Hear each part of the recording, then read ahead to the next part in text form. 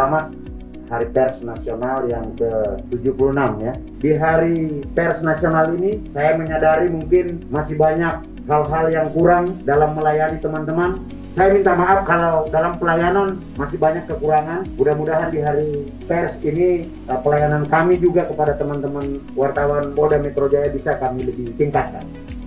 Jadi kalau bicara soal gedung ini, mungkin yang senior tahu sejarahnya ini. Dalam satu kali 24 jam ini saya sulap jadi balai wartawan tahun 2010. Waktu itu saya wadir reskrim um Polda Metro Jaya. Mungkin masih ada yang lain juga yang menyaksikan waktu itu Pak Karman Kapoldanya ngajak ke sini. Sangat wajar kalau udah 13 tahun ini harus direnovasi.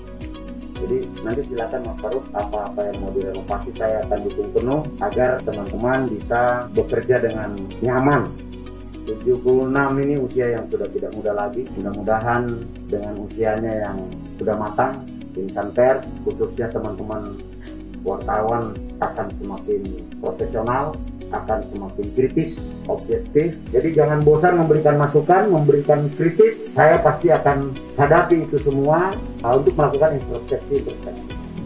Wartawan Polda Metro Jaya ini bukan hanya sekedar mitra, tapi sahabat buat saya banyak hal yang harus saya perbaiki karena mendapat masukan dari teman-teman media. Salam hangat, salam hormat dari kami semua. Selamat Hari Pers Nasional. Terima kasih.